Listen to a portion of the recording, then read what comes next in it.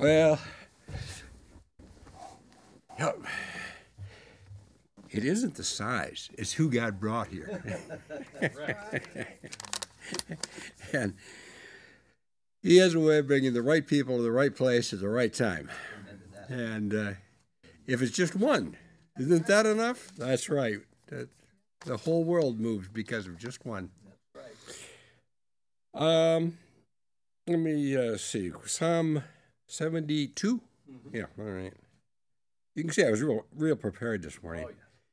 Along with a whole lot of other people who spent the week sick. I don't uh, understand the incredible plague that hit us, but it's laid a lot of people low. And this is a prayer for the king. Right now, that's very appropriate for us. okay? We need a prayer for our king. God, endow the king with ability to render your justice, and the king's son to render your right decisions. Or maybe I should say the king's cabinet to render your just decisions. May he rule your people with right decisions, and your oppressed with justice. May the mountains bring prosperity to the people, and the hills bring righteousness. May he defend the afflicted of the people and deliver the children of the poor, but crush the oppressor. The Obama? No. Maybe they fear you as long and may they fear you as long as the sun and moon shine from generation to generation and righteousness will flourish at the proper time, and peace will prevail until the moon is no more. May rule from sea to sea, from the Euphrates to the ends of the earth. May the nomads bow down before him, and his enemies lick the dust. May the kings of Tarshish and the distant shores bring gifts, and may the kings of Sheba and Seba offer tribute. May all kings bow down to him and all nations serve him. Have you noticed a little change of pace here? What king are we talking about? Aha! Uh-huh. king Jesus, that's right. For he will deliver the needy when they cry out for help, and the poor when there is no deliverer. He will have compassion on the poor and the needy, and he will save the lives of the needy. He will redeem them from oppression and violence, since their lives are precious in His sight. May he live long and be given gold from Sheba, and may he, prayer be offered for him continuously, and may he be blessed every day. May grain be abundant in the land all the way to the tops of mountains. May its fruits flourish like the forests of Lebanon, and may cities sprout like grass for the earth. May his fame be eternal, as long as the sun. May his name endure, and may they be blessed through him. may all nations call him blessed. Blessed be the Lord God, the Lord God of Israel, who alone does awesome deeds. And blessed be his glorious name forever, and may the whole earth be filled with his glory. Amen and amen. And so ends the prayer of Jesse's son David. I think that that really does a gamut from the rulers we have today to the ruler we expect, fully expect tomorrow, and forever and ever after that.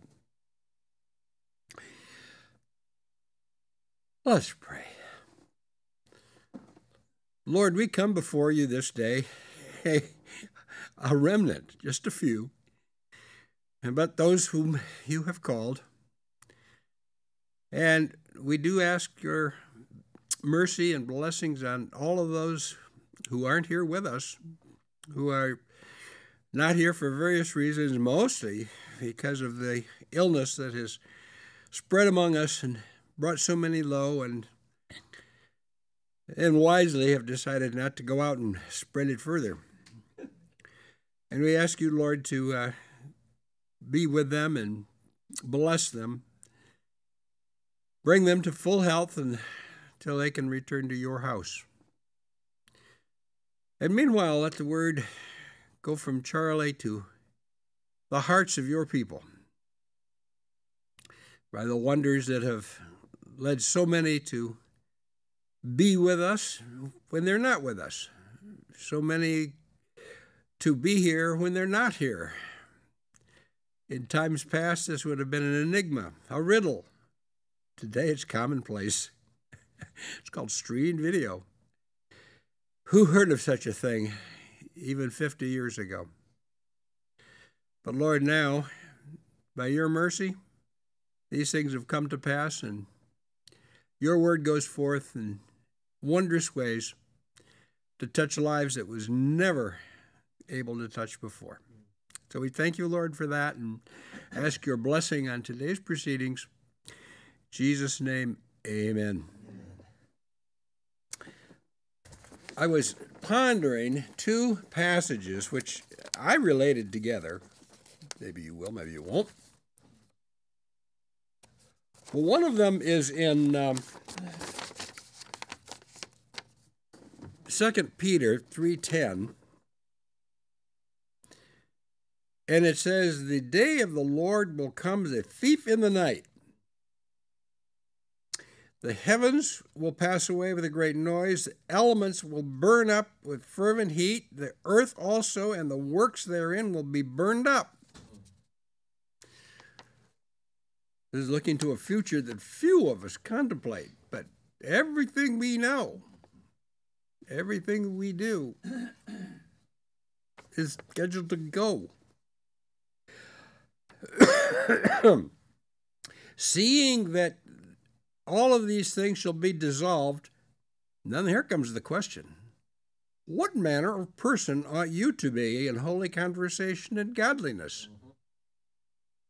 Words, wait a minute, all of these vain things that we consider in life are scheduled to go away, which means what will remain? Spiritual things will remain. So, where should we be, right? The Spirit. So, we should be looking and hasting for the coming day of the Lord, wherein the heavens, being on fire, will be dissolved, and the elements will burn with fervent heat Nevertheless, we, according to his promise, look for a new heaven and a new earth wherein dwelleth righteousness.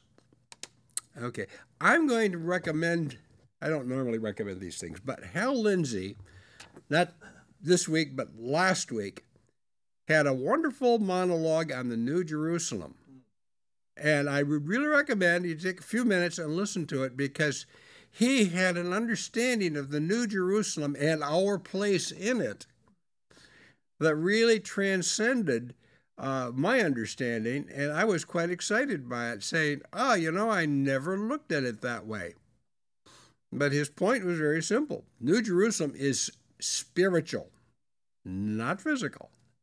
So stop thinking that this is a city with streets of gold where we're going to go tramping with our dirty feet. No, no. This is a place that we're going to go in spirit and dwell in spirit and truth.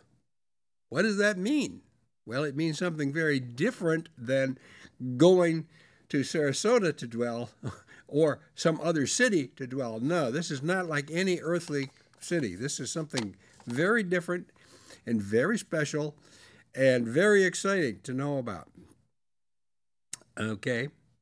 And he then goes on in Revelation to warn us. He says, Do not seal up the words of the prophecy of this book, because the time is near. Well, wait a minute. This was written 2,000 years ago, wasn't it? You know what's happened for almost 2,000 years? People have ignored that book.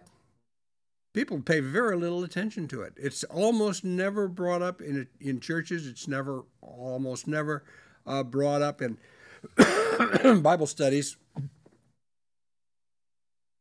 Yet it is a book with a unique promise. Blessed is he who reads the words herein. You know, it's the only book that says, Read me, I'm special. Because the time is near. There's the clue. It says, When the time is near, that book will come alive. And surprisingly enough, that book is coming alive. We're beginning to understand the things in it, we're beginning to see the things in it taking place. I think uh, the last time I talked, it was about uh, Revelation 12 and the signs in the heaven that seem to be coming. All of these things are happening around us. Don't be asleep. Be aware.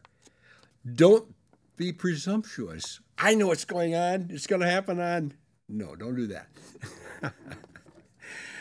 it isn't. It isn't a time to predict when the Lord is coming back. It's a time to know He is coming back soon.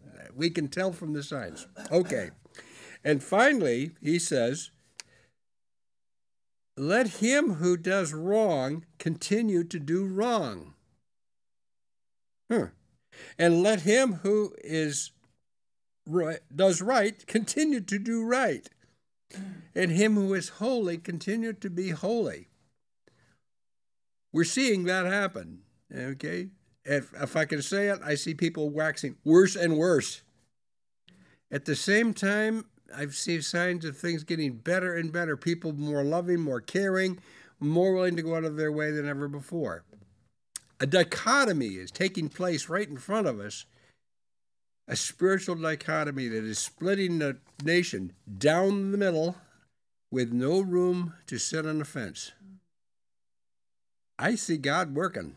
I see God dividing his people up into the ones on the left and the ones on the right. It's coming, it's almost here. We're in the middle of that transition. Don't be blind to what's happening around you. Don't be presumptuous about knowing just exactly what it means. And finally, he says, Behold, I am coming soon. And to touch on Paul last week, my reward is with me, and I will give to everyone according to what he has done. Remember Paul talking about the rewards that are waiting? That's right. And I am the Alpha and the Omega, the first and the last, the beginning and the end. Jesus transcends all time and all circumstances. And guess what? We're there. It's about to happen. So ask what the Lord would have of you in these days considering all of the things that we hold dear they're about to go away. Thank you.